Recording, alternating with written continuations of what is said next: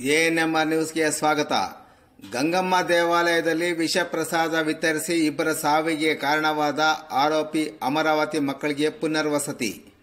ಚಿಂತಾಮಣಿ ನಗರದ ನಾರಸಿಂಪೇಟೆ ಗಂಗಮ್ಮ ದೇವಾಲಯದಲ್ಲಿ ವಿಷ ಪ್ರಸಾದ ವಿತರಣೆ ಮಾಡಿ ಇಬ್ಬರ ಸಾವಿಗೆ ಕಾರಣರಾಗಿರುವ ಎರಡನೇ ಆರೋಪಿ ಅಮರಾವತಿಯ ಇಬ್ಬರ ಮಕ್ಕಳಿಗೆ ಪುನರ್ವಸತಿ ಕಲ್ಪಿಸಲು ಇಲ್ಲಿನ ಮಹಿಳಾ ಸಾಂತ್ವನ ಕೇಂದ್ರದ ಮನವಿಯ ಮೇರೆಗೆ ಜಿಲ್ಲಾ ಮಕ್ಕಳ ರಕ್ಷಣಾ ಘಟಕ ಮತ್ತು ಮಹಿಳಾ ಮತ್ತು ಮಕ್ಕಳ ಕಲ್ಯಾಣ ಇಲಾಖೆ ಅಧಿಕಾರಿಗಳು ಮಕ್ಕಳ ಮನೆಗೆ ಭೇಟಿ ನೀಡಿ ಪುನರ್ವಸತಿ ಕಲ್ಪಿಸಲು ಮುಂದಾಗಿದ್ದಾರೆ.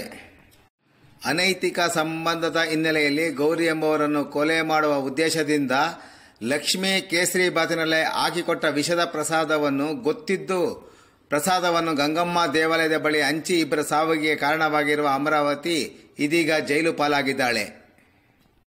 ಆಕೆಗೆ ಪತಿ ಇಲ್ಲ ಇಬ್ಬರು ಗಂಡು ಮಕ್ಕಳು ಮಾತ್ರ ಇದ್ದಾರೆ. ಮಕ್ಕಳನ್ನು ಹೋಟೆಲ್ ಮತ್ತು ಲಕ್ಷ್ಮೀರವರ ಮನೆಯಲ್ಲಿ ಕೆಲಸ ಮಾಡಿಕೊಂಡು ಸಾಕುತ್ತಿದ್ದಳು.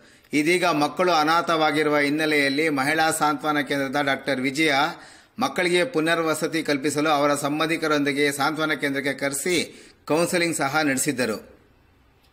ಸರ್ಕಾರದ ಮಹಿಳಾ ಮತ್ತು ಮಕ್ಕಳ ಕಲ್ಯಾಣ ಇಲಾಖೆಯ ನಿರ್ಗತಿಕ ಮಕ್ಕಳ ಕುಟೀರಗಳ ಯೋಜನೆಯಡಿ ನಿರ್ಗತಿಕ, ಅನಾಥ ಮತ್ತು ಸಂಕಷ್ಟದಲ್ಲಿರುವ ಕುಟುಂಬಗಳ ಮಕ್ಕಳ ಪಾಲನೆ ಮತ್ತು ಪೋಷಣೆ, ರಕ್ಷಣೆ ಹಾಗೂ ಪುನರ್ಕಲ್ಪಿಸುವ ಉದ್ದೇಶವನ್ನು ಮಹಿಳಾ ಮತ್ತು ಮಕ್ಕಳ ಕಲ್ಯಾಣ ಇಲಾಖೆ ಹೊಂದಿರುವ ಹಿನ್ನೆಲೆಯಲ್ಲಿ ಸಂಬಂಧಪಟ್ಟ ಅಧಿಕಾರಿಗಳನ್ನು ಸಂಪರ್ಕಿಸಿ ಇಬ್ಬರ ಮಕ್ಕಳ ಮುಂದಿನ ಶೈಕ್ಷಣಿಕ ವರ್ಷದಿಂದ ಸೌಲಭ್ಯವನ್ನು ಪಡೆದುಕೊಳ್ಳುವಂತೆ ಸೌಲಭ್ಯ ಕೊಡಿಸಿಕೊಳ್ಳುವಲ್ಲಿ ಮಹಿಳಾ ಸಾಂತ್ವನ ಕೇಂದ್ರದ ಡಾಕ್ಟರ್ ವಿಜಯ ಆರ್ ಅವರು ಯಶಸ್ವಿಯಾಗಿದ್ದಾರೆ. ನಗರದ ಹಳೇಪೇಟೆಯ ಸರ್ಕಾರಿ ಶಾಲೆಯಲ್ಲಿ ವ್ಯಾಸಂಗ ಮಾಡುತ್ತಿರುವ ಅಮರಾವತಿ ಮಕ್ಕಳಾದ ಭರತ್ ಕುಮಾರ್ ಏಳನೇ ತರಗತಿ ಮತ್ತು ತರುಣ್ ಕುಮಾರ್ ಐದನೇ ತರಗತಿಯಲ್ಲಿ ವ್ಯಾಸಂಗ ಮಾಡುತ್ತಿದ್ದು, ಇದೀಗ ಇವರನ್ನು ಮಾವ ನಾರಾಯಣ ಸ್ವಾಮಿ ಮತ್ತು ತಾತ ವೆಂಕಟೇಶ್ವರಪ್ಪರವರು ನೋಡಿಕೊಳ್ಳುತ್ತಿದ್ದಾರೆ.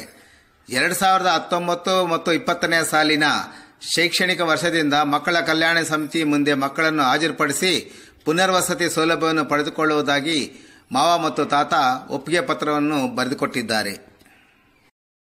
ಈ ಸಂದರ್ಭದಲ್ಲಿ ನಗರ ಠಾಣೆಯ ಸಹಾಯಕ ಸಬ್ ಇನ್ಸ್ಪೆಕ್ಟರ್ ಚಂದ್ರಕಳಾ ಮಹಿಳಾ ಸಾಂತ್ವನ ಕೇಂದ್ರ ಡಾಕ್ಟರ್ ವಿಜಯ, ಜಿಲ್ಲಾ ಮಕ್ಕಳ ಕಲ್ಯಾಣ ಘಟಕದ ಮಂಜುನಾಥ್ ಮತ್ತು ಗಾಯತ್ರಿ, ಇಲ್ಲಿನ ಮಹಿಳಾ ಮತ್ತು ಮಕ್ಕಳ ಇಲಾಖೆಯ ಅಧಿಕಾರಿ ವೆಂಕಟನಾರಾಯಣಮ್ಮ ಮತ್ತಿತರರು ಹಾಜರಿದ್ದರು.